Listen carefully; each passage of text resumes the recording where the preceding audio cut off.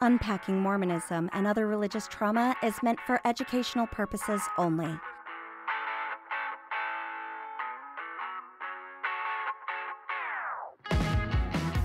Hey, hello everybody. Here at Unpacking Mormonism, we are, I'm sorry, I keep looking over at the computer, which is over there. Um, yeah, thank you, Mason. Help me here. Gotta watch myself. My mom says that I used to always look in the mirror and stare at myself. I think that's a normal, natural human tendency. But Interesting. I look and stare at you all the time too. So oh, nice. maybe it's just you. That's awesome. So we are having some technical difficulties with our equipment, and so we jumped here. We use StreamYard for our video feeds. And because we were having some technical difficulties and our producer isn't um, available right now, we decided to just jump on and do this because I am leaving on Thursday for my first book tour. So by the time you are watching this or seeing this, That'll be old news. that's gonna be old news. It'll be gone. Um, but yeah, we don't have another time to get this episode recorded until um, after I get back from my first book signing tour. So here we are, uh, very casual in our recording studio, and just bear with us. This is one of my best shirts. Yeah, Just kidding. It's really Mormon. not. That's a Mormon like bishop worthy T-shirt. That's right. I spilled coffee on my boob earlier, but see, that's why nobody can see my boobs. Alrighty, here we go. Thank you, Mason, for that.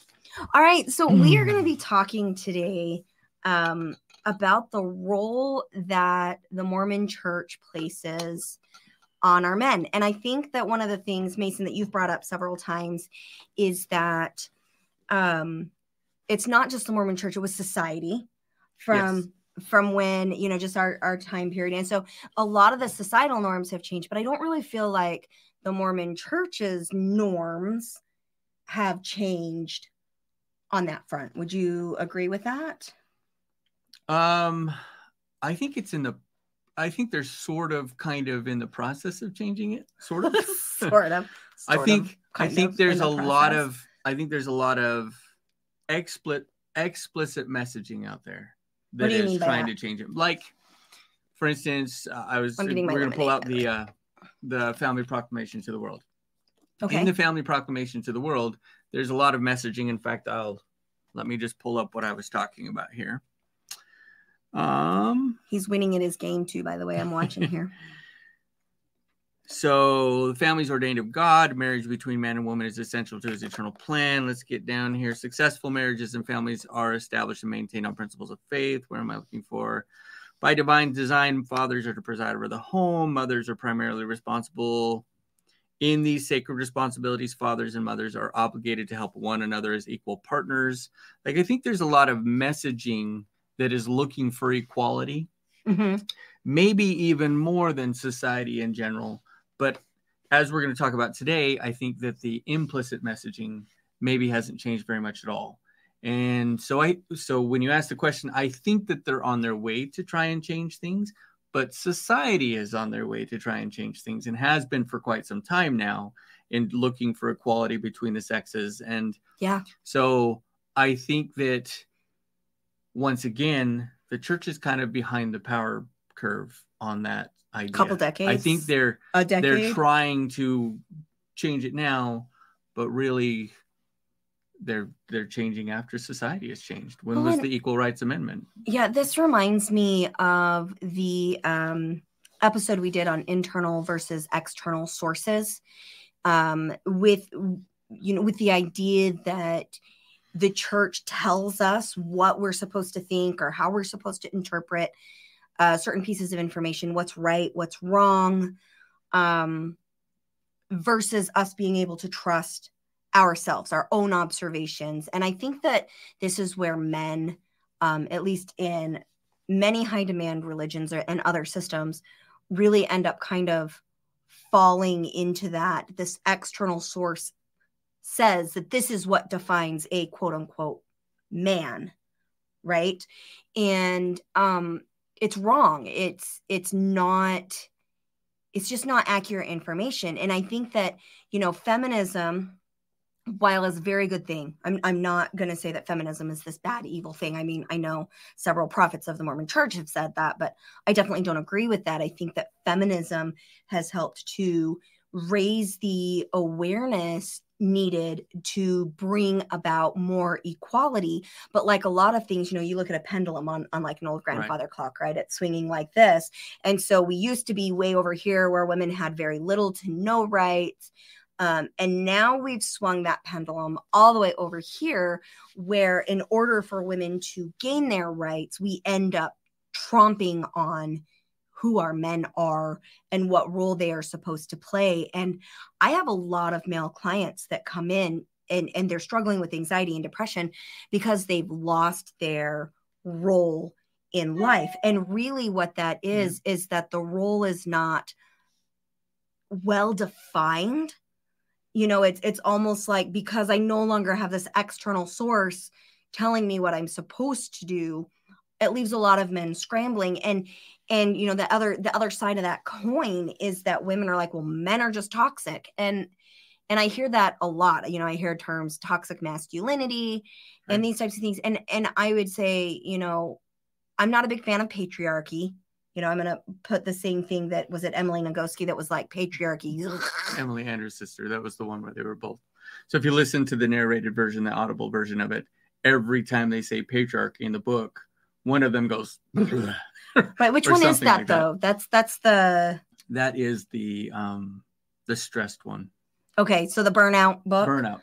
Burnout book. Burnout. And every time they say the word patriarchy, they go, Ugh. Yes right so which i i agree with them because i think that there's i think the issue with patriarchy is that it creates that like triangle where the man is at the top and then there's you're gonna have a lot of people be like well no jesus is at the top well no well when, jesus when, is a man so i don't know that that really um, point. negates that Fair. argument and when you talk about your pendulum just to to go back to that before you move on I don't think that we've gone from this side to this side. I think we're in the, this side right here. pendulum, pendulum swinging right. We started over right. here. I don't think we've gone over here because if we've gone over here, it would feel more like a complete reversal. Meaning that over men have here, no men rights. have the power, and over here, women have the power. And I'm not talking even about rights necessarily, but here, men have the power. If you look back historically at almost all of our written history, mm-hmm. men have the power. And there are biological reasons for that, but men have the power. And even in our society now, we're only getting to the point, we're starting to get to the point where women have some power. Right. They've recognized that they can. And part of that is because we have a more civilized society. In a less civilized society, I don't think that you even have the ability to share that power but in our civilized society, I think you do have the ability to share the power, and we're starting to see that. Okay, so I'm gonna look up the word power because you used it so many times. Like if you were writing a book, your editor would be screaming at you right now. But like, what do you mean by the word quote unquote power? Because well, so oh wow, I'm getting all kinds of videos. Yeah. Well, so Brene what is Brown, the definition of power? Possession of control, authority, or influence over others. Right. I think that's the problem with quote unquote power in general is that you have authority and influence over others. So Brene Brown I've calls it two different kinds of power. There's power over and okay. there's power with. Oh, I like that. Okay. And, Go Brene. I, I cannot give that justice in describing it now because I don't remember all the things that she said. Right. But basically, I might even be saying power with wrong, but there's power over and there's essentially power with. I don't remember exactly how she described it. Right. But for a long time society has kind of taught us that the only power that exists is the power over mm-hmm. and that that is kind of finite you can only have power over so many people so many things so much right. stuff well like i might want to have power over my toddler in order to right. keep them alive but then right. as my kiddos turn into teenagers i no longer want power over them i want them to start taking their like independence so that they begin yeah. to have power over power themselves with them at that point in time so that they can govern themselves right. and then as they become adults i i need to like you know declaw right completely in order yeah. to yeah I, I like that and to restate when you're talking about power over mm-hmm. there's a finiteness that goes along with that. You only have so much that you control. So the more that you can grab, the more power that you have. But if you're talking about power with, it is not finite. You can have power with a lot of people, a lot of things. And so there's no Yeah. there's no quantitative struggle there because you're trying Quantitative struggle. well, think of it like, for instance, if you wanted to be the most powerful person in a town or a city, you're going to have to own lots of things, lots of property, the wells, the banks, whatever. Got it. But there's only a certain amount of land or property that you can own. Got At it. some point in time, that is it, it's all gathered up. So when you're talking about power with, that that doesn't have the same sort of finite um, restrictions on it. Okay.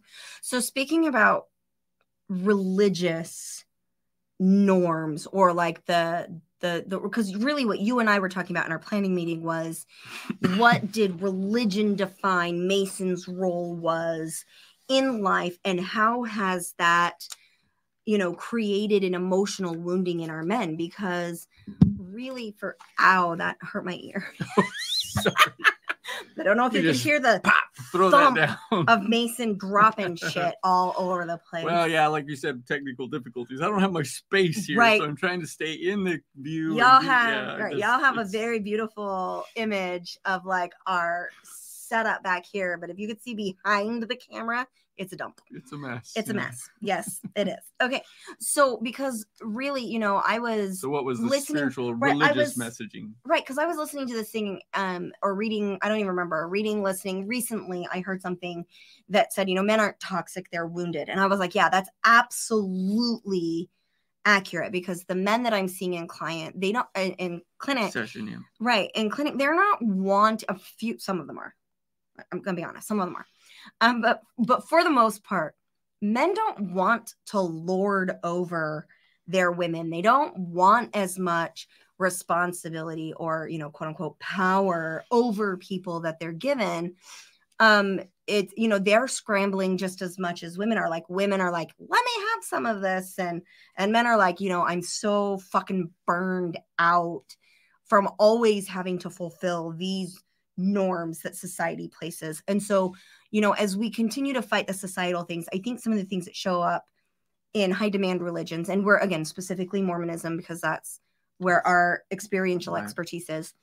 Um, what are some of the rules, Mason, that you feel that the church gave you that at one time you would have thought this is righteous, this is what God wants for me in order for us to obtain Right. eternal salvation and that, you know, eternal happiness, this like glorious, beautiful thing. What are some of those rules that you've identified that you're like, whoa, now that you're on the other side going, yeah, that was not as healthy as I thought it was? Uh, yeah, well, there's quite a few. Let me start with just, uh, I have just one scripture really, and it comes from the Doctrine and Covenants, section 121, which I still think is a very powerful set of scriptures because, for the most part, the explicit message is about men behaving themselves and not lording over. Um, it doesn't say specifically women, but just in general, not Okay. lording over go for it. family. But I want to focus instead on the implicit message that Mhm. comes from it. And let me start with Doctrine and Covenants, section 121, verse 34. Many that are in the church will remember this, but it says, Behold, there are many called, but few are chosen. And why are they not chosen? Well, let me just explain then what's going to happen for the next 15 verses. God is going to talk about the reasons that people are not chosen. But then let me just so that's that's what's coming ahead. Let me back up. The very first line says, Behold, many are called, but few are chosen. And it is, you'll find in further verses, this is talking specifically about priesthood authority, Okay. which means in the Mormon church, you're talking about men, Right. which means in the Mormon church, you're talking about men that have the priesthood. Well, if you have the priesthood, you are called and you are chosen. So the implicit message is, I'm special and I am Morally superior. I think that you can get that from that Mhm. message. I don't know that I ever got that, and I don't know that that is an implicit message, but I think you can get it from there. So I don't think that people, like my experience with most members of the church, aren't that they are consciously thinking I'm morally superior over others. And I see this in both men and women. I want to Sure. make that abundantly clear. This is not something that I'm seeing is exclusive to men in the Mormon church, but that because we're special, because we're the only ones with the truth, um, because we Yes. are the God's chosen people, we end up behaving in ways that are morally superior, even when we don't want to. You know, it's Yeah. it's been very interesting as we interact with, you know, mostly family members, because most mostly family family members are the ones that are the most comfortable telling us where we're wrong. Right. Um, and so as we've interacted, it's been like, no, I'm smarter than you, and you're just trying to tear down what I have. And it's not that they're overtly saying I'm smarter than you. It's not that they're overtly saying I know the truth and you don't. That's not the intent Actually, there. a lot of it has been them accusing us of acting like we're more we're smarter. right. It's the opposite. It's like Yeah. you guys think you're smarter than us, but you're not. You're just Again, attacking the us. implied message and you're you know yeah. satan has gotten a hold of your hearts Yeah. and you're going to hell and your marriage is doomed and blah. right so talking about that moral superiority if you're Mhm. talking about the church as a whole membership of the as a whole if you are raised in an, a society or a group where you believe you have what everybody else needs that gives Right. you a degree of moral superiority. And then Or- our men. And now if you take that to the men you and i both have the truth the truth right so we're both morally But superior. what do i have? Power! Well and and not even so much power as that was a good voice by the way. That was. I am i am critical to that because you can't have the ordinances for salvation without me i can't have or, anything or without you. a priesthood holder. Right i'm not allowed to make you can't get Decisions baptized? without you you. can't have the sacrament? You can't Yep. go to the temple? Can't go to the you temple can't do any of that without priesthood authority which means and this goes both ways know- it gives me an air it can give me an edge of superiority but it also gives me an overwhelming sense of responsibility right well because you're now dependent on me. And something else that really stands out to me is I can't even get my names on the record of the church without a man. Because in order to get your name on the record of the church, you have to be blessed. Like Yeah. even as a newborn baby you have to be blessed. or baptized. So I have to have men to get in. I have to have men to get out. Like I can't do anything in the Mormon church without the approval of somebody with a penis right so men and the to- power. or Penis women, power. I'm calling it penis power. that's the Penis PP. power. That's Penis PP. power. the PP. That's the PP priesthood power or Okay. penis power. Penis power. The PP. So while men or so I while you women PP for like short for like a little boy's PP. And I was Mm. like, dude, PP power just does not sound anywhere near as awesome. PP power would be penis power power, and that's power squared. Anyway, while women get the message that they are not significant, women get Right. marginalized, men get told that we're critical, Right. Hang that our role is. I am eh, eh, basically as a father and a priesthood holder, like for, as a mother, you're responsible for your He's the- children. Henry is the reason I keep sorry, interrupt squirrel, squirrel, dog, dog. Henry is the reason why I keep looking like I'm sitting more forward towards the camera than you. It's because he has to be touching me. Otherwise, he will bark at me. So, but he's like overheating. He's overheating me. And I do not know what's dinging. Keep going. It's your computer. Well, it needs to shut up. Ooh, Um, way to go. Turn off my sound. All right, keep going. so anyway, so I get told how res- how important I am, how responsible I am, and so that can lead to overbearing, or Mhm. it can lead to overwhelm, because we get taught that in the church you get saved as families. Right. You're responsible as a woman for your children. They're your responsibility. That is very much a, a, an implicit, explicit message in the church. Yeah, I wouldn't say that's implicit. That is explicit. but that, so am I. And the Yeah. implicit message is that I'm also responsible for you. And so Yeah. I get more that I'm responsible for. And, you know, like the idea if you see your parents, somebody sees your kids misbehave, well, that falls on the parents, right? The judgment goes to the parents. Um, and so in this case, hopefully if my family is falling apart, my eyes. for instance, like when you left the church, that Right. falls on me too. Some of my Mhm. responsibility. I'm not keeping my wife, I'm not keeping my woman in line, right? And there's some of but there's some of that message there. And so that's one of them. That's the message that's there. right.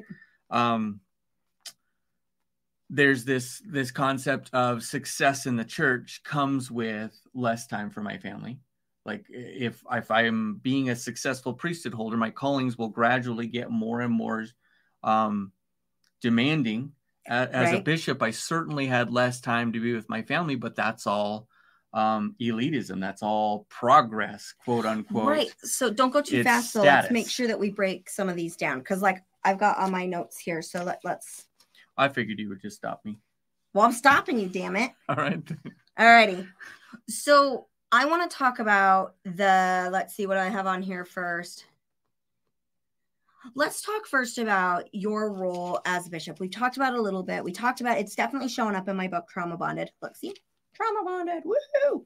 Um, we talked about it there, Um, which was um art what? god nib What? It's backward on the screen Oh, is it? backward. We didn't mirror. We didn't mirror our cameras. Whatever. Alrighty. So it is backwards on the. Yep. Whatever. what All right. else? Hey, it says trauma bonded and it looks good. Alrighty. Um, no, so one of the things that we talked about was that um as you became more My space is all off. I'm trying to drink your water. Don't know rude. where to put all my crap.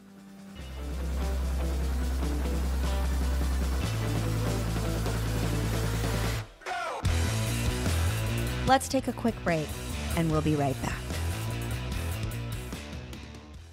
Diagnose Zeithochdruck. Wir verschreiben ausreichend Zeit für PatientInnen.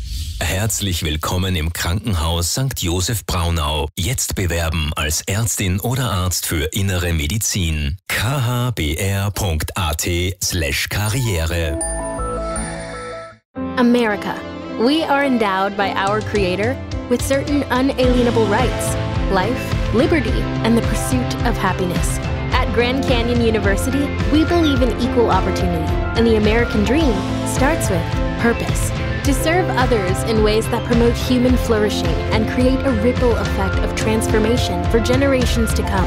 Find your purpose at Grand Canyon University. Private, Christian, affordable. Visit gcu.edu. We'll fix it later for next time or something. It'll be fine. It will. Deal. Oh, you pull out a It bench. will. There you go. It will be Y'all, okay. Mason has to spread out. Like when he needs space, he needs a lot of it. He has a big wingspan. He's flying. Woo! It's, it's penis power. We're used to spreading.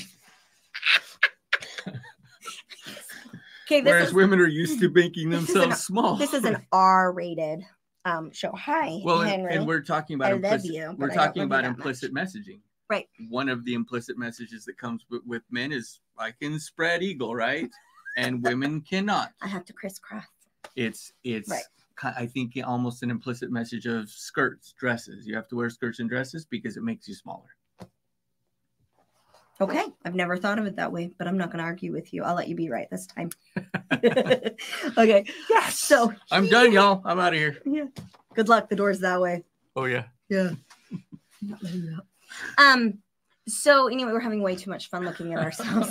Screamed today. No. So my point being is that the more elevated, the higher your calling, or the more important the role you held in the church. So it was, goodness, other than a couple of years of our marriage, you always served in some sort of presidency or leadership role the entire Yeah. time you were in the church. Yeah. So you either like in the young men's presidency or the elders quorum presidency Or the bishopric or the bishopric. Yep. Yep. Or the stake Sunday school presidency Stake. here as well. president. Yeah. Yeah. Stake Sunday school presidency. Sorry, I almost said stake presidency. Yeah. Doesn't so work. was a state calling, which required me to. Yeah. So stake. Sunday. So you were gone all the time. So I'm going to say starting in 2009, which would have been when you got called to be the executive secretary. And then in Mhm. 2010, you got called to be in the bishopric. From Mhm. that point forward, you never sat with me in the stands ever. Except for one year, but yes, for the most part. Oh, that's right. For your year of anesthesia school, the but- year of in San Antonio. Yeah. the year in San Antonio. But you. you hardly ever sat in the stands with me then because you were like constantly. So I'm trying to. Okay, Henry, I love you. Go away. All right. Henry's going to start yapping at us in a minute, but I need a break from him. He seriously is driving me crazy today. Um, love, love our mascot. He's driving me crazy. Um, okay, so other than that year in San Antonio, um, you sat on the stand. Mhm. But really, what I want to talk about is that because you had the priesthood power and because you were acting in quote unquote Jesus's name, Mhm. you put a lot of effort into being empathetic, into listening in a way that allowed you to respond to the people that you were counseling, like spiritually counseling or guiding. Right. um that that was a part of of your role. But then when you got home like it went that that switch it like turned off it was almost like because you have been quote unquote set apart to act in the savior's name especially as a bishop when you were a judge in israel like i'm i'm quoting you guys just keep watching i'm like yeah, air quoting Air quotes going air all over quotes the going all over the place. Right. But it's because but it's because those were the things that you were told. Like the external authority said that when you are acting in the role as a bishop, you are basically acting in Jesus's name or God's name. Yeah. Both. Yeah. Yeah. That you were a judge in Israel. That you were supposed that the counsel you were giving came directly from God. And so I feel like because of that, you were very aware and conscious and and for the most part intentional in how you approached the members of the church. Um, But then when you got home, that went off and you were not emotionally available to your family. Do you want to speak about that a little bit? Um, so I'm not sure how much of that is from implicit or explicit messaging from the church or religion. Partly Get off the implicit, explicit messaging. Let's talk about toxicity and non toxicity. Oh, I'm sorry. I that think thinking face is terrifying. I think that a good part of toxic masculinity has to do with the messages that we're giving okay. given. So that's I'm not trying to just harp on that. I'm trying I just to want to make of sure we're not like trying to fit. Ev- I sorry, I just totally interrupted you. Um, I want to make sure we're not trying to fit every example into implicit and explicit oh yeah messaging. not at all um so but what i was what i was saying was that i'm not sure how much of that comes from the messaging from the church implicit explicit whatever. I'm not sure how much of that comes from that. Part of that is because i haven't really unpacked that. Part of the issue was my inability to be emotionally available for you. Mostly you. Uh, even for the kids i was a little bit more emotionally available and i think it was because a similar reason to why I was more emotionally available to members when they came to me. When members come to the bishop, they're Mhm. usually in a difficult spot. And recognizing that they have a need for empathy, um, advice, comfort, whatever, is pretty easy. They're coming to me with a problem. And so it was easy for me to recognize that I needed to be empathetic. And so then to and to put forth the effort to be empathetic. When I'm dealing with my children, it's a little more easy to recommend recognize because they're dependent. Mhm. And then when it came to you, there wasn't a dependence. And there wasn't to me an obvious not an emotional dependence. well, not really a dependence at all. Like you have never really been dependent on me, with the exception maybe of financially. Ultra independence is a trauma response, y'all. Just saying. Well, right. Well, and and and I don't think that that's a bad thing. Right. But I think a lot of it had to do with the fact that the teachings of the church from the time I was itty bitty was don't get in the way of what the priesthood have to do in order to fulfill their priesthood duties. Right. Like it was don't, you know, Sarah as a female, don't tempt a man before he goes on his mission because if because if he has sex, it's your fault, and then he won't be able to go on a mission, and that means it's your fault, Sarah, which also then automatically means that um all of the people he would have baptized are now not going to get baptized because Sarah was a promiscuous slut and this missionary couldn't control himself because he's a man and men cannot control themselves. I mean, that was definitely an implicit message if you want to do that. That that moral like for men it was don't masturbate, don't look at porn, and for women it was don't show your body, don't act sexy, don't be too loud, don't jump too high, cover up your body, be small, be this, Yeah. be that, don't don't tempt him, don't and it was like, dude, anytime the wind changes, a boy gets aroused. How the hell am I supposed to to breathe Right. around a man? Like if I exhale, will you get aroused? That's kind of windy. Right. Right. But my my point being that from the time I was little, and then it was, you know, okay, you get married in the temple, and then it was support your spouse in their callings.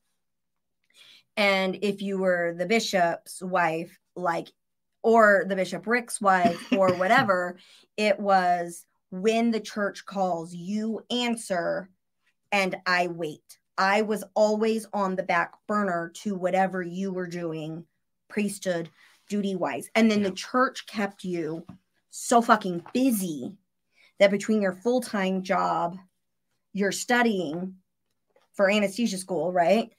Your your study, so you your army job, and then you probably worked when you were in leadership 20 to 30 hours a week for free for the church. You didn't have any time or energy left over for us anyway. And the Right. idea was the good Mormon wife is going to make sure that the kids are fed and cleaned and, you know, bathed and everything. So that way you could walk in, you could read them a bedtime story, you could pat them on their heads, and you could send them off. And that's, I mean, that's apparent all the way back from like Joseph Smith and Brigham Young's time, in a sense of they have, you know, all these polygamous wives and all of these children that they never spent time with, and yet they were still perceived to be these infallible, you know, near perfect men. Now, I know when I throw Brigham Young in there, everybody's like, oh, I don't know about Brigham Young. But when I looked at, you know, the bishops growing up, like when they were in the role of bishop, they took less family vacations. They, like I remember in in my life when my mom called and said, "Hey, we're having a crisis." Like our bishop lived around the corner from us. He was at our house in a couple of minutes. Yeah. Like if his job allowed, he was there. It was like work came first when it had to come first just because the bishop can't get fired, right? Yeah. But then after that it was church. And So yeah, so and go ahead. I could talk So let- about yeah, this. So- I'm starting to get like I can see that. Yeah. So let me share a couple of things that I see as messages. First, I, I have my scriptures open uh, to Doctrine and Covenants 121, and I found there's right next to these verses, there's something I wrote in, and I could, I did, did just a quick Google search. Um, I'm not allowed to see first. no, he just no, hid it from to, me. you have to hear it like everybody else. Um, I tried to do a Google search of it and I couldn't find this quote. So I don't remember exactly who it's from except for what I wrote down, but this is what I wrote. It is the artful duty for the woman to adjust. what? Whoa, That's let me from, see this. It says from Sister McKay. So I don't know if that's from David O. McKay's wife or from another Sister McKay that was a leadership. But let me talk about what It the does say message that, then y'all. is. like Right. And this is from I don't even know when. These are my scriptures from seminary. These are from a long time ago. So Did you ever get new ones after? I did. I actually have a couple of different sets. One that I took on my mission that got lost. Artful duty for the Um, woman to adjust. But let me just what talk about fabulous thing Yeah, that you up. grew up with. right. Well, so let's talk about the message that is there. When I, we're talking about my inability to be emotionally available, I think that the message that we get as men is that we don't have to be emotionally available. It is Mhm. your job to manage that stuff and to just and just just let me tell the other example that will help here. yeah, go ahead. If you've seen the movie Mary Poppins, the original one with Julie Andrews, I love it that begins movie. with um the kids lose their kite but the one of the first songs is mr banks comes into the house sings a song about how his hor- house is totally in order and one of the lines is and then i pat them on their head and i send them off to bed how lovely is the life i lead and right the idea being like everything in his house bows to the man Mhm. and he just gets to do the little happy little parts like oh it's so good to see you guys i've been Yeah. home for one minute now go to bed Right. And- kiss, and kiss, kiss. Love you. right Good night. and his his wife can't argue with him it's no, because then deal. she's supposed to put out. Right. He, uh, and and the underlying message there, she's fighting for votes for women, but the overlying message is that she she doesn't have any power in her home, and so I got taught implicitly. Like I don't think anybody ever came to me and said it's not your responsibility to be there for your wife. I probably got that. I probably got an opposite message. You need to be there for your wife. Right. But Um, what does be there for your wife Right. mean? but then the overall message is simply that you take care of the home Mhm. i take care of my priesthood responsibilities and by doing that we're going to be emotionally tight Well, and I think and that was not our experience I really think that, you know, kind of ties into the social norms of don't cry, be strong, don't be a pussy, stop crying like a girl, you know, and then the idea that the man's role is that you're supposed to work yourself into the grave. Like it is, you know, according to Mormonism, and then again, a lot of this old time societal thinking was that the man is supposed to provide enough money for the family to live comfortably. And basically, the more money the man makes, the more value Oh, that he is supposed to have. And I'm not talking about financial value, I'm talking about like individual worth, self esteem, oh yeah confidence. Like if you're a doctor or a dentist or a lawyer and you're making, you know, six figures or more, high six figures or more, then that is somehow tied into your intrinsic worth. And then the other thing is that you're supposed to be like maybe your kids coaches and whatnot but then your job as a coach is be like oh you got to learn how to be strong you got to learn how to win and this very competitive nature and really what ends up happening is that men don't learn because they've never been expected to learn nor has it ever been allowed for them to be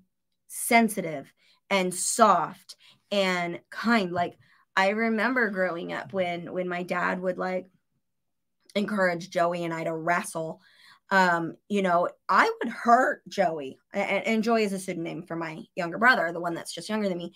I would hurt joey and he would start crying and my dad would be like toughen up. You're not gonna let a girl make you cry are you right? um, There's and- a lot of societal shame that goes right and so you're not allowed to feel and if you're not allowed like it's like feelings stopping. It's like you know stuff it down stuff it down stuff it down. Don't bring it up.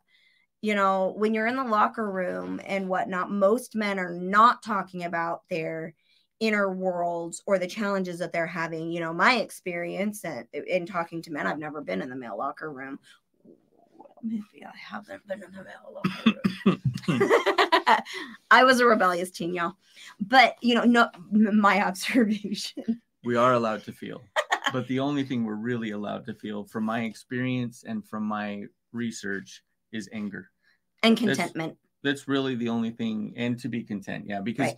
you can't ever be too content because you could always be mer- making more money you could Right, always can't make your family a little more comfortable Mhm. and it's interesting all the jobs that you mentioned doctor lawyer whatever those all take to really be successful they all take lots of time away from the home Right. so i can provide for you very well financially but i Right. can't provide for you in any other way and all of my needs like sex you mentioned that's just your job too Which is what they pretty much talk about in the male locker room: sex and how we did on the field and working out. But and it's your job to provide it. who smells the worst and who's the biggest. it's your job to Yeah, provide it it's not my job to earn it Ah, with the exception Like of that.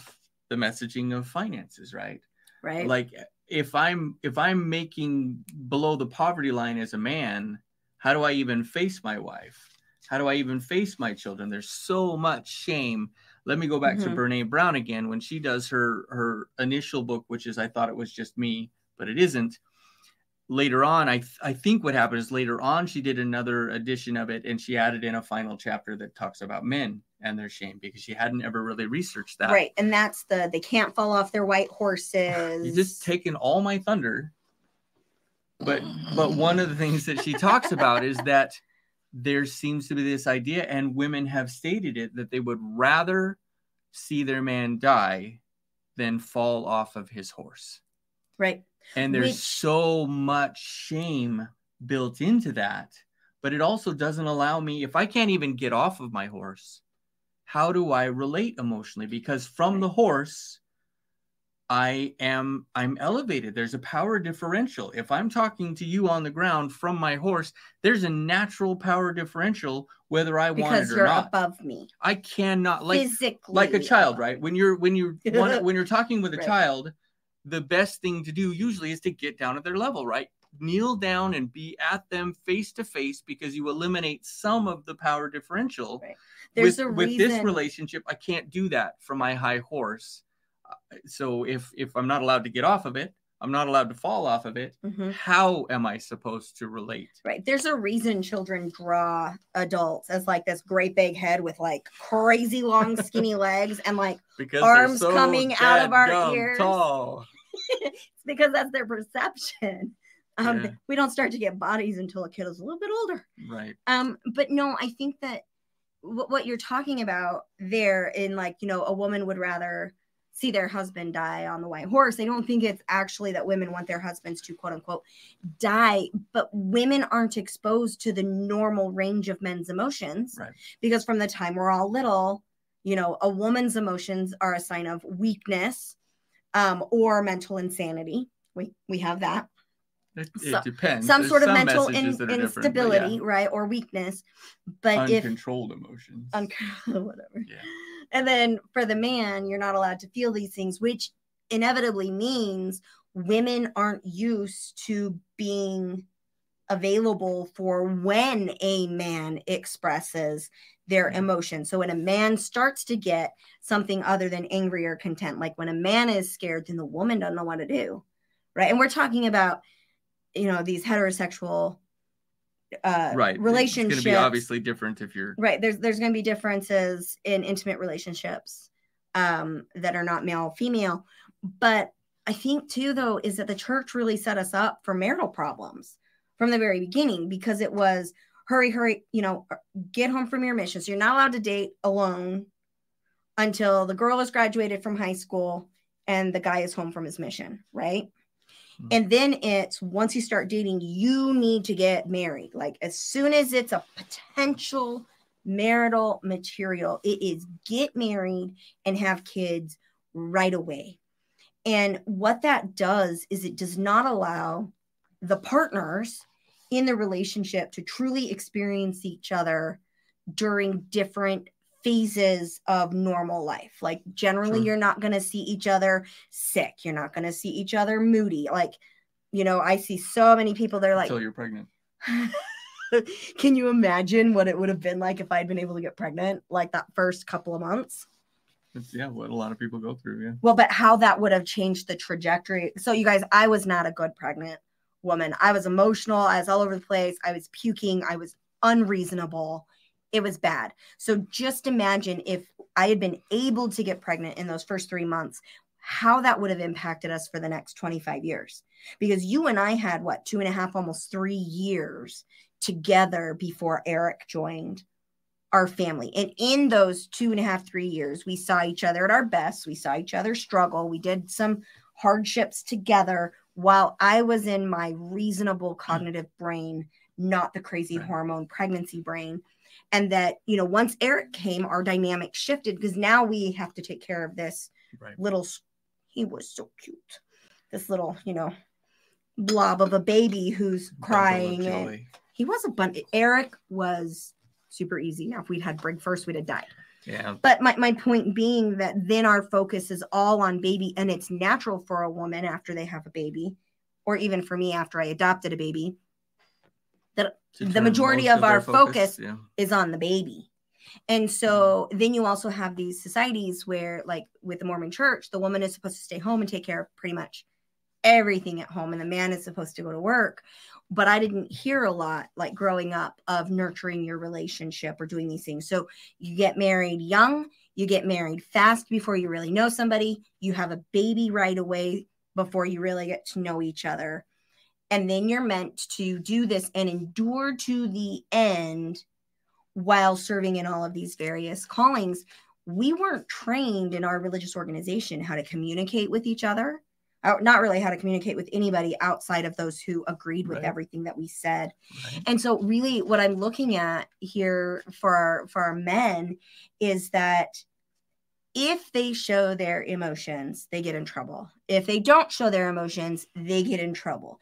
If they get tired or burned out with their job, or they need to do a career change, which is going to cause the family to struggle financially, the woman isn't supposed to be able to go to work and pitch in and help Right. cover that cost. Like, none of that was, I mean, we joined the military because our which i'm grateful for i am I, I have no regrets about joining the military at, at all I, I mean it was a great decision for us it's been it was a great experience but we looked at the military because we had eric and there was no way we were going to make the unrighteous decision for eric to be babysat by somebody other than me so that i could go work full time to put you through nursing school that, that wasn't even an option. It didn't even come up. Yeah. It didn't even come back to our conversations. We never even talked about that possibility. No, it was, I mean, the expectation was Mason had to figure this out on his own because it was his job to provide. Now, a lot of families do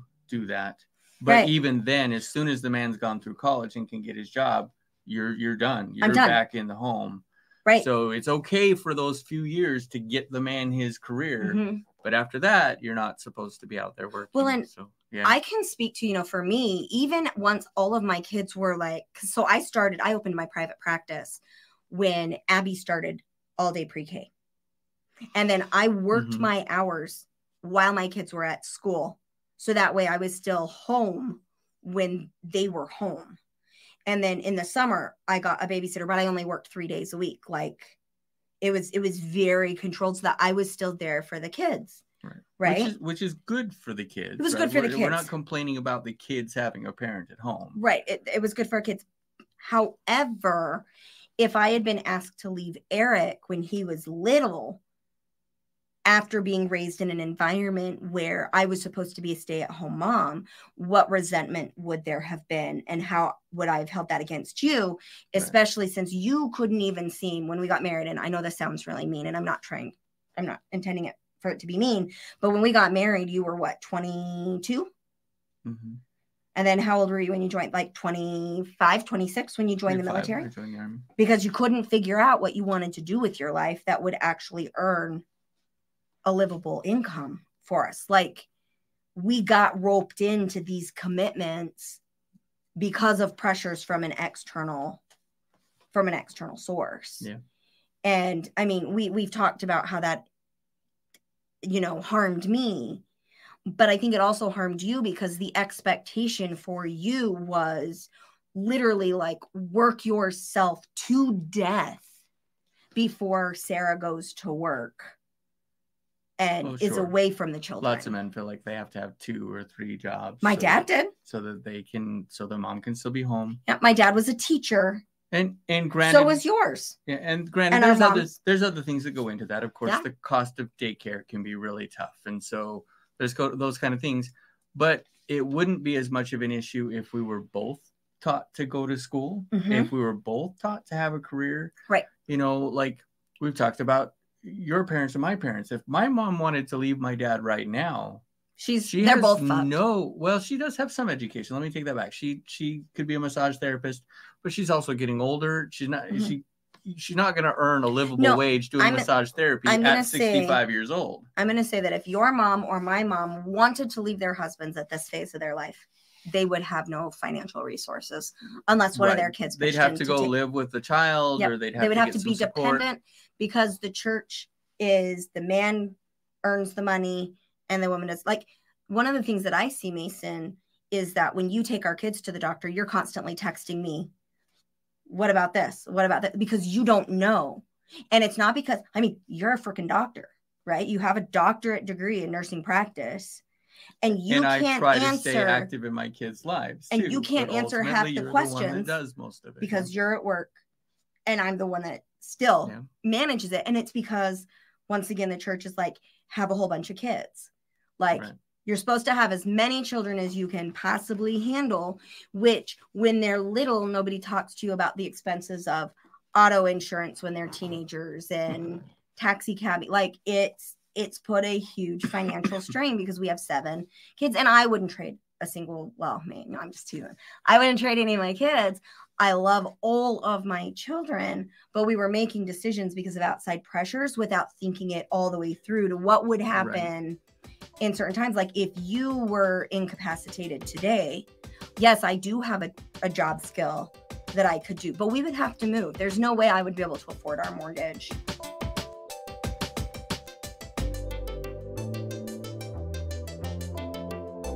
Head on over to Amazon and buy your copy of Trauma Bonded, a true story of navigating attachments forged in complex PTSD by me, Sarah Westbrook.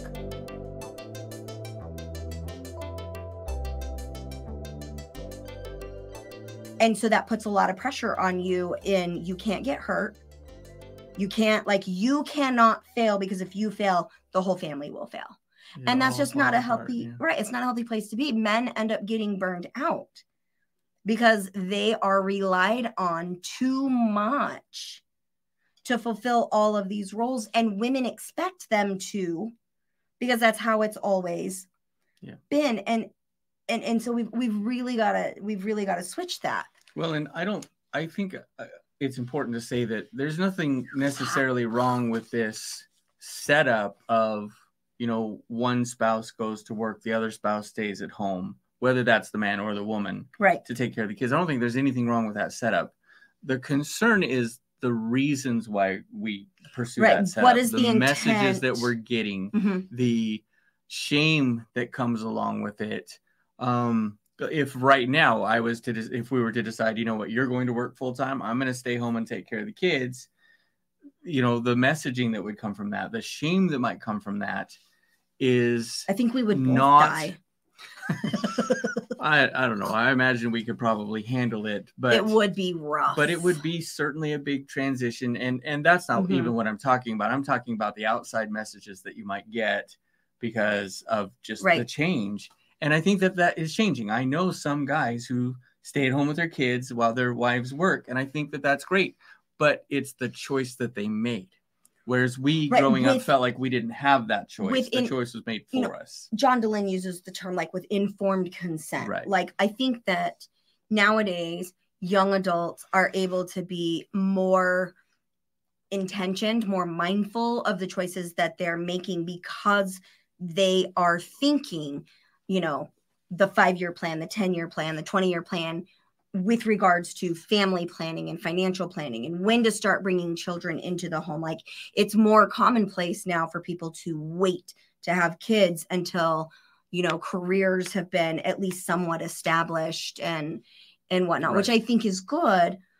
But i still think where we've got a huge deficit for our men is you know sexual health for one and emotional health for two and i think that those two things are so intrinsically entwined that it's oftentimes hard to Right. to separate them. And so is there something else that you had mason before we move into the sexual health stuff that we um had planned? Like is this your whole list? You've got that's that's my no i've got notes a whole bunch of other places. All right look so- at sarah's notes to mason's notes y'all this is pretty normal Wait, wait. There's a whole page of notes here. Stop, stop shaming me for what I didn't write oh down. i wasn't shaming you hon i was talking I, I what i okay let me clarify look how organized his is versus how crazy mine is that's what i was meaning to um, I, I don't, I don't think so.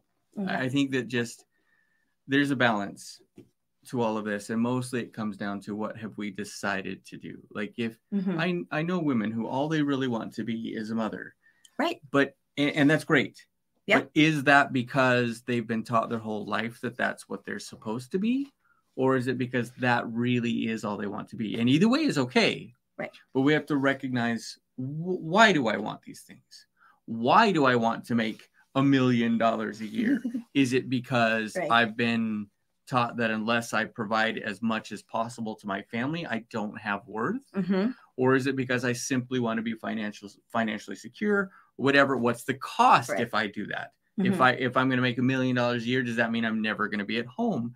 And is that the sacrifice that I want to make? Right. I want to recognize what choices are being asked of me, and be able to step back and go, what is it that I actually want and be able to talk with you. What is it that we want? Right. What works best couple. for Look, us as a team. I can make a million dollars a year, but I'm not going to be home. Right. Or Well, I, I could be home all you want, but I'm only going to make 20,000 a year, right? We have to be able to talk about it and come to an agreement as to what we want as a couple, as partners. Right. Well, and one of the things that that comes to mind for me is that you know when I entered the workforce and then when you retired from the military, there were still and and this is not so. Um, let's see, I entered the workforce around Abby was born. I'm thinking 16 13, around so- 2016 was when I opened my private practice. Was the end of 2016 when Abby started pre-K three, full day pre-K um, because she qualified because of her special her special needs. Right. You And didn't so- open your office until And that's when I opened my office and I started to work full time outside of the home. And you did not start with really an equal share of the in home labor, like the division of labor in the home, until maybe two years ago. And it and Mhm. one of the reasons for that, well, number one, we did just it it just we never even thought about it to talk about it. It was Right. like the pattern was right, the pattern was set that Mason pretty much came home, ate dinner, played with the kids. Now you've always put the kids to bed and you've always done the dishes. Right. I've always been involved, but you're talking Right. about recognizing, hey, you're working full time, so am I. Right now that So I'm now, that I'm do we divide gone, these chores? right up? now that I'm Yeah. gone from the house 40 hours a week because of my job, plus however many hours a week I'm gone because of medical appointments and Right. stuff for the kids and sporting events and blah blah blah blah blah but i'm still the one that was primarily expected to keep the house clean keep up on the laundry make sure the kids were getting the bathed grocery shopping. grocery do the meal shopping meal planning. planning cooking all of it i still did it until about two years ago when i was like hey i need you to listen and one of the common Incidentally, about the time that you had your mental breakdown. So that was three we- years ago it was about a year after About yeah Mm-hmm. that time. So you got pushed to the brink before Right. I was even aware that I needed to step in. And, and again, that comes Right. down to some of that message. Well, and I hear so many women when I do my couples counseling that are like, he never helps. He doesn't cook. He doesn't clean. He doesn't this. And he's just a toxic man. And I think for most of those men, it's that they don't have an awareness Yeah. that it even is like, I don't think men in that situation, you know, because I don't obviously not all men, be unavailable or unhelpful. I don't think that's what we want. right? I just don't think it was ever modeled for Mhm. them. So again, it's it's that exposure. So again, I don't for- for the most part, I don't think men are toxic. I think if I was to describe or define toxic masculinity, it would be a man who is intentional in lording over, harming, manipulating their partners or other human beings. Yeah. And I think that most men just because of societal norms or religious norms they're they're wounded and then when they try to seek healing they get kicked Yeah. for it So let me give one example. I think this will lead into the sexual health that you want to talk better. about. It's an example that from the scriptures. Do you know what the first example in the scriptures of polygamy is? Mm, well which scriptures The Bible, uh abraham Yeah, Abraham. So let me explain. i got detail, it right Let me explain in, in detail why this matters. right Abraham is uh, 100 years old, 90 years old. he's an old dude He's old. Sarah is somewhere around 80 or 90 years old. They were 10 years apart didn't she have a baby after that too at 90.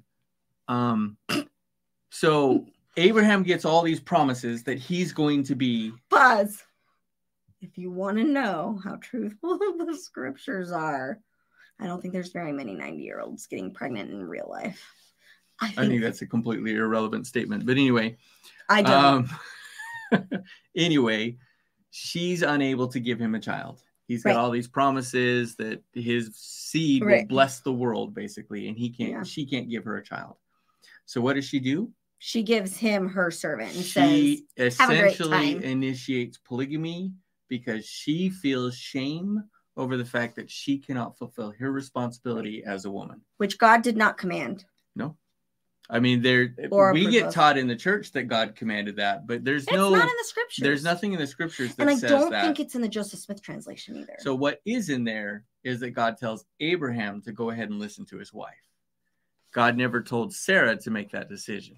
So polygamy essentially gets initiated apparently, because it's the woman's fault. the woman is feeling shame because she cannot provide a child. Yeah, I know to what that's like. And The provide not being able to provide a child part, not that you can sleep with somebody else so that you can have a kid. I'm right. just gonna adopt somebody's But- instead. So we go to extremes sometimes in order to fulfill what we consider our responsibilities. And Mhm. so if we don't have the ability to Ooh, step back from those responsibilities and examine them, Mhm. then we might make choices that don't really fall in line with what we want for ourselves or Yeah. what we think is healthy. Like Sarah, so eh, Sarah gets glamorized a little bit because she made this choice, she made this sacrifice. But what happened? But what happened later on? Oh, Sarah was gets- so upset because Ishmael was threatening Isaac because of this sibling rivalry that she kicked her out of the house. And so Yeah. it was not a healthy dynamic. Obviously not. You know, it wasn't this Well, I mean, happy This go is lucky, after you're my Abraham best friend now because we're kill his own wives. damn kid. Um, no, no, it was before that. Okay, well, So and then Abraham tries to kill his anyway, damn the, kid. the point being that we when we don't feel like we're filling our prescribed roles, right. we will make decisions that don't necessarily fall in line with what we want for ourselves. I really like. Goodness, So- Henry, you startled me. I really, I really like that example. Man, that's two. That's two today. Good I'm job. out of here.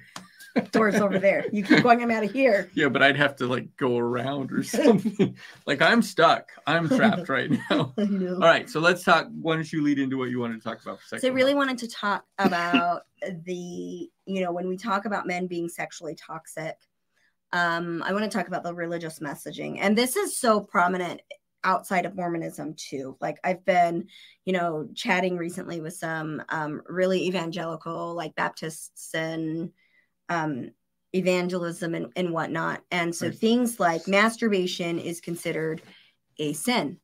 Um, and any porn use is suddenly termed addiction. Um, and we've talked on here many times about age appropriate masturbation, that we utilize masturbation in sex therapy um, for rehabilitation, um, to build sexual connection. Like that, that that's a whole other topic that we're not going to break down Right. today, other than to say, hey, from a scientific and a medical standpoint, masturbation is a tool Right. that It has its uses. that has its uses and it, it- th- that is meant to be pleasurable. It's a tool that has its uses. It's meant to be pleasurable and it's age appropriate and normal for both men and women to masturbate from very young ages. Um, and so one of the things that I think our men get is is that there's this like this standard of you cannot participate in something that is biologically beneficial to you because when you do that it means you don't love your woman as much. It means you don't it means you're dirty. It means you're a pervert. It means you can't fill in the blank. And that's a really toxic message like Yes, from from a medical science and and from a mental health perspective and whatnot. Because then it throws me into shame. So talking about Right. me specifically, it throws me into shame. do you want to share your experience with that if if you're ready for that. sure go ahead um, I didn't mean to interrupt your your thought process, Dude. but that's what happens. Is I appreciate the apology, but uh, this is how we do. Go for it. it's how you do. This is how I I, don't do, do. the interrupting thing very often, although I'm getting better at it. Getting better at interrupting. yeah, That's good. So you can get a word in edgewise. No, incidentally- go ahead. sort of a squirrel. Squirrel. the reason the the underlying reason that masturbation has always been an issue from a religious standpoint is because Jacob's son Judah spilled his seed on the ground and was reprimanded for that by God. Um, So if he had spilled it in a sock, that would have been okay. no, no. The implied message there is that because his seed did not go where it's supposed to go, which is a vagina, um, he was reprimanded for that. And uh, God was I- I think really that's the- concerned about the nitty gritty I details. think that's the underlying where that comes from. Yeah. I don't So- know. You know, I almost feel like in the Bible, it's like God was so interested in the in you know the nitty gritty, itty bitty, every minute detail of everything that he got himself so dang burned out that he just don't talk to us no more. So He's like, to start, it's like his oldest children burned him out, so we're the youngest, and he's like, I don't care what you guys do, just don't bug me. to start, I'm watching my shows. please understand that how you feel about as a listener about masturbation or pornography that's that's on you and i don't and i don't think that there's necessarily anything wrong with one way or the other as long as you're communicating with yourself with your spouse Mhm. with anyone that might be involved in that Yeah. So let me give a, a caveat. So when it comes to marital therapy, when I'm working with couples, when we talk about pornography use or masturbation use for either couple, the rule is disclosure and boundaries. If in the relationship you've agreed that that's okay, and whatever those rules are surrounding surrounding it or between the husband and the wife or you know the, the partners so male male female female whatever um, open relationships as well so as Right. long as all of the adults that are participating in the intimate relationship are boundaried and they've talked about what is what they're comfortable with what they're uncomfortable with then it's then it's going to be okay because really where the danger lies in pornography use hey mason needs to go feed the chickens they're all dead you need to like it said my meds and chickens You need to, like, change it. change the alarm y'all we don't have chickens anymore no no squirrels Keep Squirrel! going. Going. okay so anyway um the the idea is that it's the secretiveness that is so damaging. It's the feeling of betrayal when with discovery that becomes very damaging about this. Now having said that porn use according to the gottmans pornography use can damage relationships Right. when it's utilized more often than occasionally. I would have to actually go back and look at that note to see what the what the guidelines are there. But i know that during like sexual rehabilitation and, and certain things we do utilize ethical pornography and ethical pornography meaning um pornography sites that um where women actually get paid. where women get paid uh, right they get paid the in, better than an in- industry standard. Um th- these are companies that are you know monitored by outside agencies to make sure that they are not participating in human trafficking or violence against women Right. or men against any of their actors and that the actors are paid the appropriate wage so ethical pornography um, one of the ones that i've recommended in the past is lust cinema uh, to clients because they do have those types of things um, but as long as there is open communication about it and disclosure within the relationship then it minimizes issues that that come from that all right go ahead mason Oh, he's writing it out. Hang on, I'm gonna read over his shoulder. just a note for what i need to put in the show notes so. Oh. um, yeah, you're gonna put a link to pornography. No, but that's what what made me think about it. So, so um, if you haven't been listening to any of our podcasts or have not read Sarah's book, let me just give you a little bit of background. So, in the book, she describes that in 2004 she had an affair with a previous her previous boyfriend from high, school, sweetheart. Yep. It's called trauma bonded. There's a lot that goes into that, um, pain and hurt on both sides. Well, Yeah. let me share just a little bit of what happened to me. Just a few weeks after that, I deployed. Yeah, it was Um, sucky. I did not have And he did not know he was deploying before the marital affair, which is huge. Yeah. In my opinion. um We got notice afterwards. So I did not have the emotional ability to actually work through that with you. Right. Which is also sort of described in the book. Um but we've certainly talked about it since Right. then. I don't remember how much of that's described in the book. So we didn't really work through it. Mhm. I just thought it had stopped. You read the book, you'll see that there my understanding of the situation wasn't exactly accurate either. Um It stopped before you deployed. but it stopped before I deployed. Mhm. Okay, so Yeah. I'm hurt. You're hurt. Mhm. We're emotionally feeling wounds. We, I still didn't even know that I wasn't emotionally available to you. I thought it was Right. just something else that was going on. um, I didn't really understand how emotionally you were struggling with with our connectivity until years later. Right. Um, so I spend six, seven months deployed. I'm angry. I'm I'm Mhm. hurt, and I didn't really struggle with pornography then at all. Actually, I there Right. were some Maxim magazines of what I considered from my Mormon upbringing, what I considered basically pornography, right? Which which mm, it's harder it's than not Cosmo. maybe right. It maybe it's soft porn. Certainly for me, it felt that way. Right. Okay. It was also well, the first think- time. I think that's important because the intent, the exposure, the way that you were perceiving what that material was influences your choices surrounding it. Like if So- you looked at Maxim and said, this is soft pornography, then from your perspective, that is what it was. And therefore, you're looking at it was outside of your moral standards. Right. Um, It's also the first time in my life that I ever masturbated.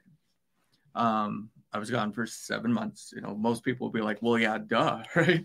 But Right, that was not but me. that was significant because you had never participated you'd never experienced masturbation that you remember in high school or elementary school like it that it was just never something that you did which is abnormal so right. So funny little trope. I was so uncomfortable with the idea that I didn't touch myself at all. Like it was all like rubbing myself on the cot or whatever. So it's just kind of it's kind of funny, right? but because it speaks to where I was, like I was Right. uncomfortable even touching myself, um, because of that's just the message that we got growing Right. up in the church, and the message that I think a lot of people still get, even though masturbation is pretty common. Um, yeah so I, i'm looking at where the, I the was though, leadership of the church i'm pretty certain most of them if not all of them are being dishonest about their own private activities that's a even. that's a conversation for a totally new other day. But Just so where I was, I was hurting, I was emotionally struggling. Mhm. we there wasn't very much ability for us to communicate. We even tried, like we tried to do IM messaging and stuff to to release sexual tension for both of us, and that didn't really work out very well just because of technology the way it was in 2004. yeah that was a long Um, it's a lot different now, right? like Um, 20 years ago Hey, head on over to Amazon and buy your copy of Trauma Bonded, a true story of navigating attachments forged in complex PTSD by me, Sarah Westbrook. Diagnose Zeithochdruck. Wir verschreiben ausreichend Zeit für PatientInnen. Herzlich willkommen im Krankenhaus St. Josef Braunau. Jetzt bewerben als Ärztin oder Arzt für innere Medizin. khnbr.at slash Karriere.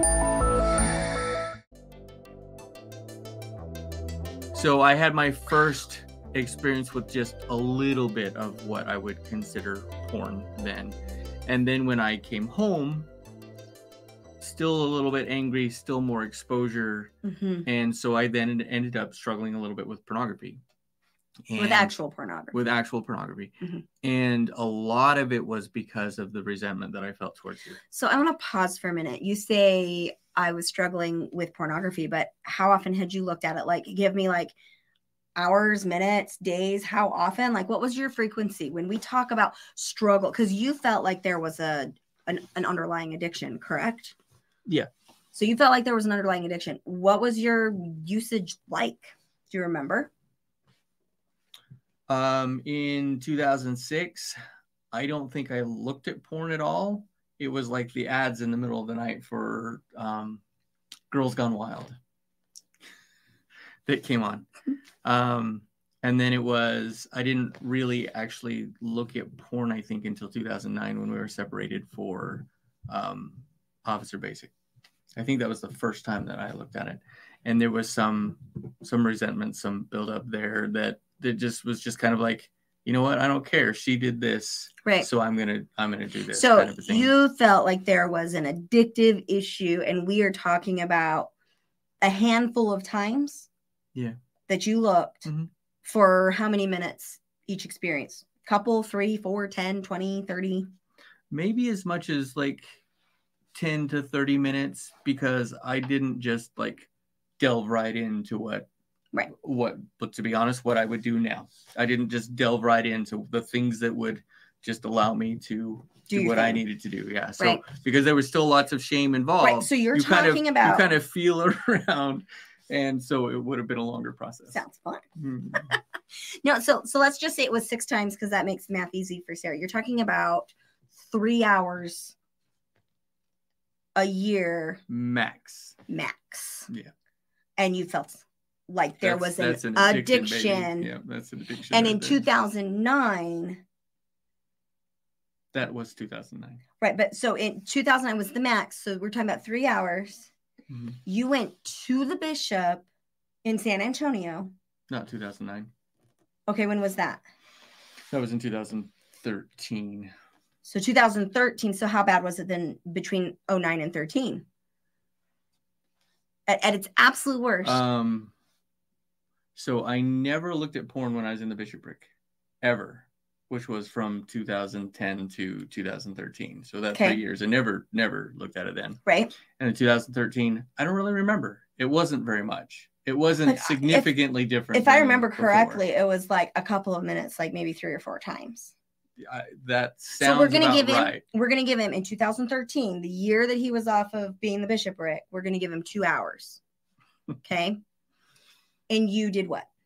You went to the bishop And handed him my and handed him your recommend and he was mad at you. Do you remember that? He said Mhm. he was mad at you.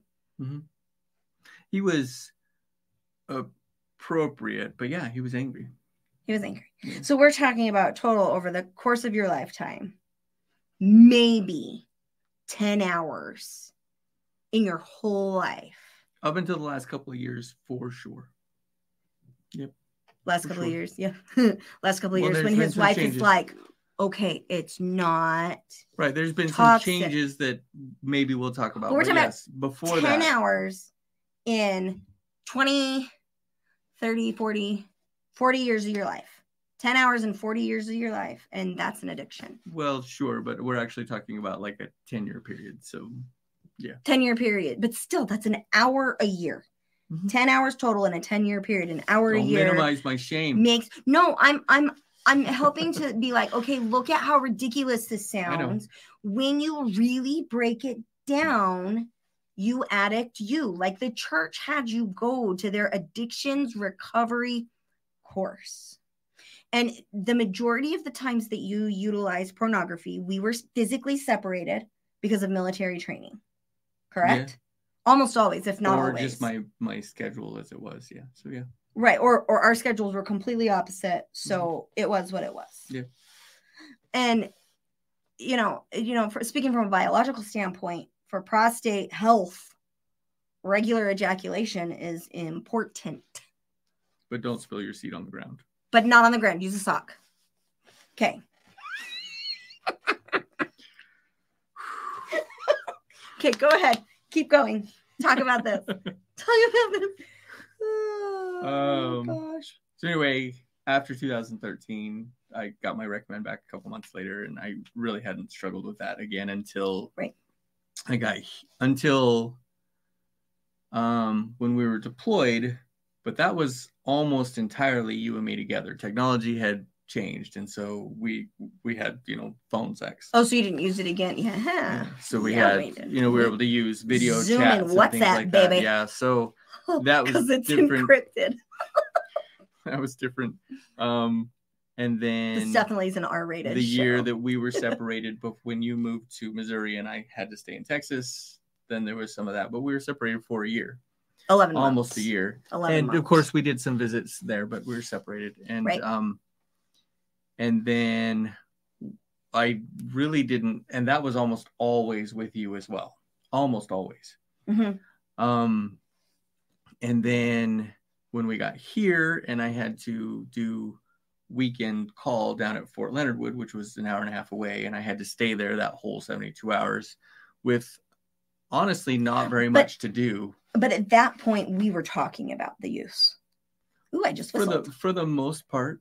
hmm Yeah. But but I mean, like at that point, I was out of the church, and I was like, No. look, I- No, I'm talking before that. okay. But I think at that point, we had still had the conversations of, hey, this is what the research says. You had the green light from me at that point of, hey, this is healthy, this is normal.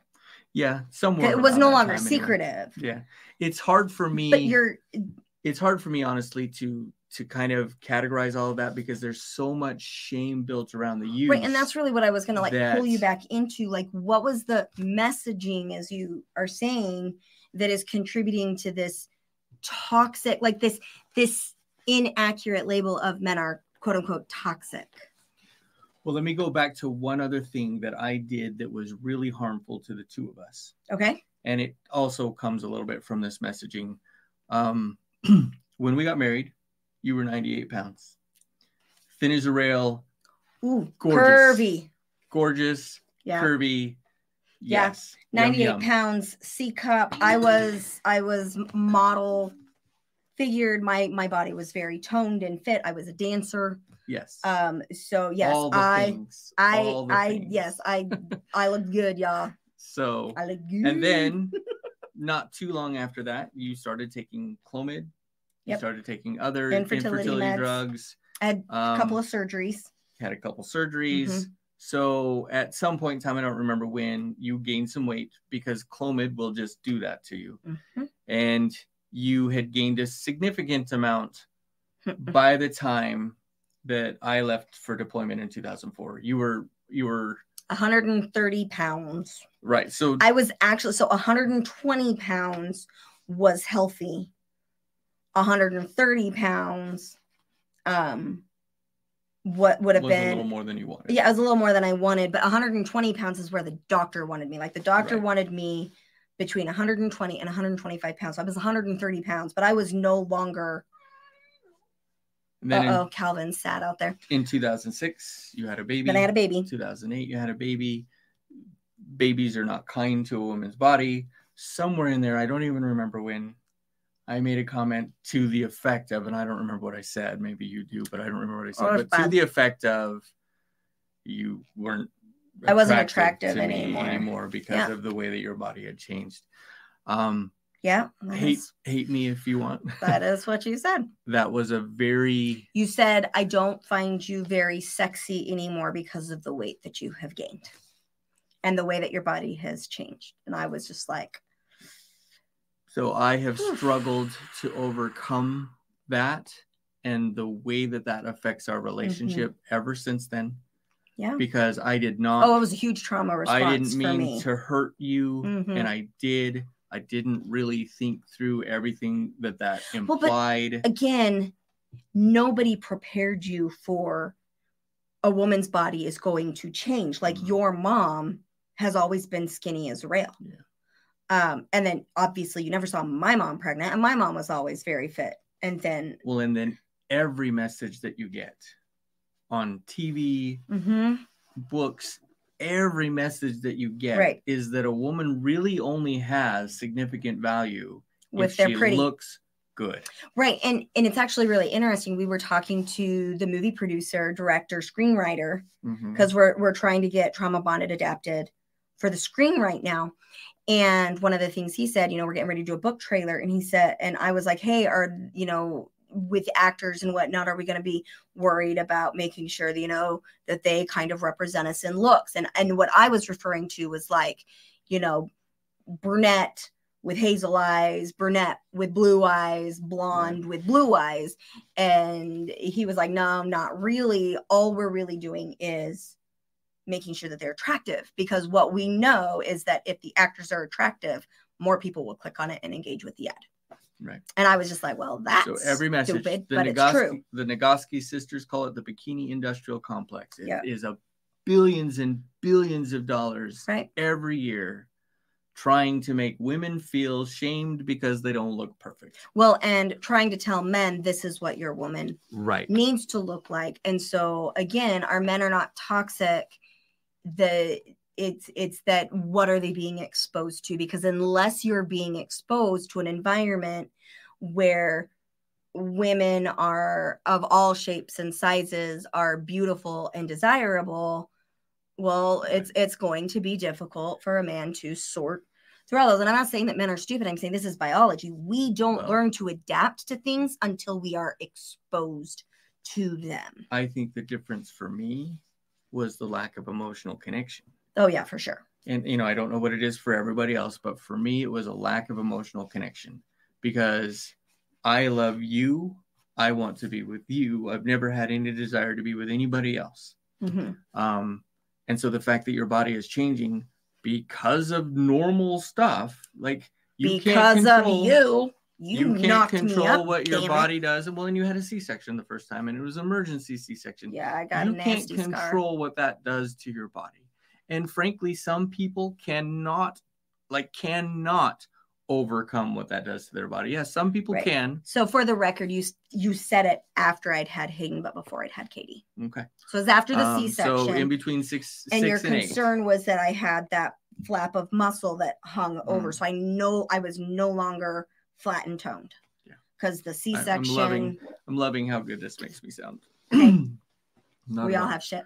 Not at all. But anyway so the the shame is there because because i i said that. Well now if i if i look at pornography you know most of us when we look at pornography oh i'm getting a message. Hold on a second. Says it 10 more minutes?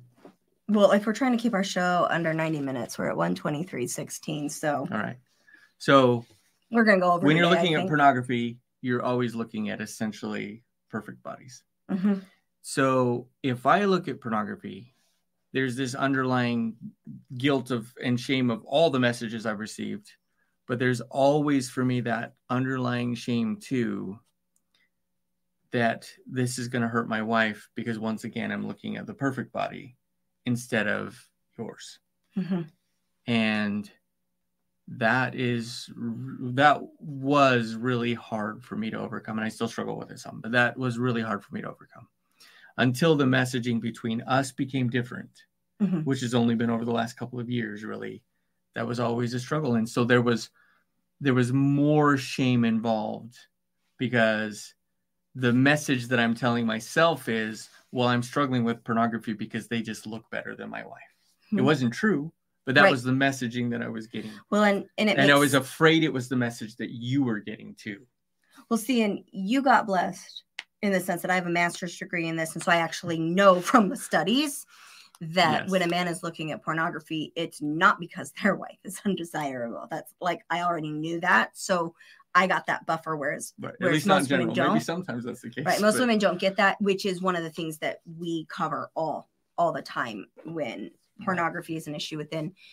within the relationship is the you know what are the myths and, and what are the facts. Right. But one of the things that you know i think that this also comes a little bit from from the religion that you're in and, and the re- the only reason that i say this is because plastic surgery is more pop in the united states more popular in in utah than any other state including california um where you have drive the hollywood right actors and actresses. And so I don't know where that came from other than the church's consistent blame that it is the woman's fault or responsibility to manage a male's arousal. And it is the man's res- responsibility not to look at pornography and not to masturbate. But if there's any problems in that area, the Mormon church has a history of blaming the woman for it consistently society in general society in general, Mhm. but Mormonism reinforces that. And again, Mormonism and a lot of these other high demand organizations are way behind the times in the sense of they're not looking at the research, they're not trying to understand what's going on at its core. And so, and they're not willing to look at that data because it doesn't fit their narrative. That's my opinion. Um, and so I think that it's really important, you know, as as we're getting ready to close. Do you have anything else that you wanted to say on that, by the way? um maybe just a little adage that there's there's pornography use now in my life but it's uh, it's open between us Right. and understood that that's going Right. on We have developed boundaries And- around that, and there's open dialogue so that there's not secretive sneaking. You know, there's no sneaking behind my back. There's, you Right. know, it's it's open. We talk about it, and it's within the limits of what we've discussed Right. is comfortable for both of us. Right. And and and it has, I think, improved our relationship. well i find that i'm a less intense man when I'm not struggling with that. And so some of it is simply because Right. I want to be able to be emotionally involved. And so sometimes when that's the avenue that I take, it's simply because I, I just don't want to be intense about that. Right, I well, don't and want to be That's a biological, physiological need. Like we're talking about Maslow's hierarchy of needs. yeah. If you're feeling sexually frustrated, it's really hard to deal with the other stressors in your life. And usually in our relationship, if you're feeling sexually frustrated, it's not because of a lack of desire on either of our parts. It's usually a lack of time where we are Yeah. physically together without children. Yeah. Again, we have a ton of children. And so it's a logistical issue for us. Yeah. Um, if it's not right, if, if And frankly, when you're sexually frustrated, that's not the time that I'm gentle and kind like I would need to be in No. order to have that kind of relationship with us. Like right, because you need your needs met too. And so so a lot of it is just for that reason. Yeah, absolutely. And so I would definitely say if if you're having issues with sexual intimacy in your relationship, find a qualified therapist that has specialty training in in sex therapy, um, because it's it, it's very beneficial um, overall. Yeah. Um, and and if they're using evidence based research methods to help treat that, then usually the outcome is improved sexual intimacy. Part of the reason Um, probably why a lot of your couples stagnated when they're from the church because that's not an option for them. Right. Right. Well, it, when, now you're teaching when something we were that is talking outside the line. right when we were talking about sexual intimacy absolutely but i was seeing the stagnation across all areas Right. specifically anxiety and depression Mm. it was just like I, I don't understand okay so squirrel again um so i would say that in closing um i see a lot of hey there's my other dog that's locked outside um i see whoops he's just outside the door um I see a lot of behaviors in clinic where women are coming in and saying, my husband is toxic or my partner is toxic or all men are toxic.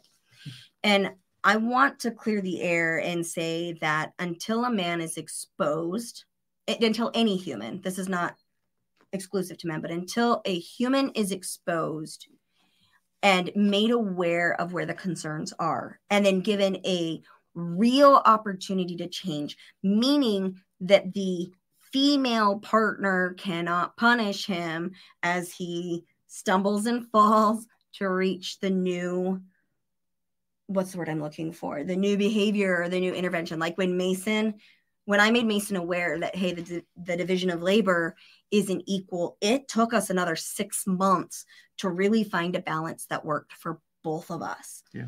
Um, and what I had to do is I had to manage that tendency to be like, you're still not doing enough. You're still not enough. You're still blah, blah, blah. I'm still doing it all. Rah, rah, rah, rah, rah. It And still so- happens sometimes, Well, yeah, but I'm not human. very often. Right. And so we as women, we need to give our men a safe place where they can feel their emotions, where they can be vulnerable without being shut up. Yeah. Where we can talk about job burnout or church burnout, where we can talk to our, our partners about, hey, I think I need a, a job change, but look at what this is going to do with us financially. Like we need to be able to do that without that panic response. Uh, well and and and educate yourself about why things like that are happening like for instance if in 2004 i had figured that you had an affair simply because you weren't interested in me in, anymore and you wanted to be with him that that's it it's over it's done Right. We would have had a very different outcome. it, it would have yeah we would have Mhm. probably divorced and we would have moved on Right, You're talking about But- getting curious. but when you can recognize that those kind of things happen for other reasons Mhm. and then if you then extrapolate that into pornography if if you immediately think well he's looking at pornography she's looking at pornography because i don't satisfy her anymore or she doesn't sa- i don't satisfy him anymore and don't recognize there are other reasons that happen and you can't talk about it you're going to end up with an outcome that isn't true to what's going on Yeah, absolutely. And so if you're getting stuck, if you're finding yourself like when when your male partner or male friend is expressing vulnerability and, and you find yourself having a reaction rather than an empathetic, validating, understanding response, or if you find yourself lecturing or problem solving, get some help from a licensed qualified professional or mm-hmm. a trained life coach or somebody who can help number one the man speak and verbalize their vulnerability and a woman who is safe Yeah. to do that with. We 'Cause they're not going to speak it if they find right well and safe. and we do see this to varying degrees in you know gay lesbian trans relationships but it's it's it's a little bit different because there's there's a, it's just a different dynamic. Mhm. um and so we you know i, I want to make sure that it doesn't it doesn't matter your sexual orientation your gender identity. If you're struggling with identifying a lack of exposure to the behaviors that you're desiring you may need help to get there because for the most part unless a man is in or a woman anybody unless a human is intentionally causing harm intentionally overlording or practicing undue influence they're not toxic. They are wounded in the sense of not necessarily that they've had something horrible happen to them that they can't talk about because they're nursing or licking a, a wound emotional or otherwise. But they've see this is this is so hard because i don't want to say like they've missed they've missed the messaging but rather there's been a lack of exposure due to societal norms and in religion that is often complicated because of the reinforcement of unhealthy social norms that have been in existence for eons and eons. Yeah. So if you need help, get help. And as always, if you have any questions or you would like to give us some feedback, you can leave your notes here on the YouTube channel or wherever you're watching this from. Um, or you can email us at daisygirlcommunications at gmail.com. Thanks. We'll see you next time.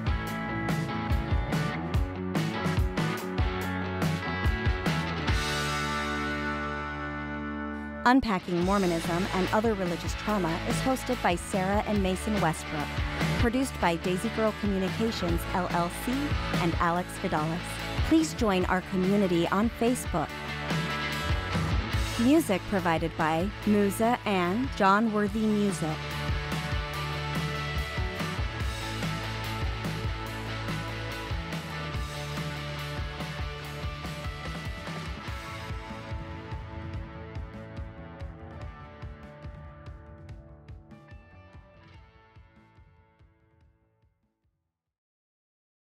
America. We are endowed by our Creator with certain unalienable rights life, liberty, and the pursuit of happiness. By honoring your sacred vocation of nursing, you impact your family, your friends, and your community. At Grand Canyon University, our online RN to BSN, MSN, or DNP degree programs allow you to balance online coursework with local in person clinical, practicum, or immersion hours. Find your purpose at GCU. Private, Christian, affordable. Visit gcu.edu. Is your vehicle stopping like it should? Does it squeal or grind when you brake? Don't miss out on summer brake deals at O'Reilly Auto Parts. Oh, oh, oh, O'Reilly!